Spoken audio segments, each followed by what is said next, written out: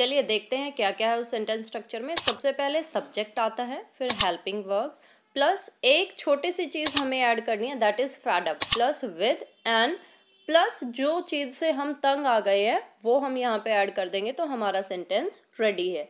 अब कुछ एग्जाम्पल्स देख लेते हैं। I am just fed up with your constant complaints मैं आपकी लगातार शिकायतों से तंग आ गई हूँ।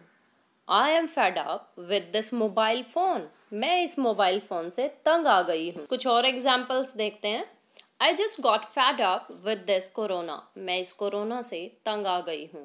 I am fed up with waiting for your reply मैं आपके उत्तर का इंतज़ार करते तंग आ गई हूँ।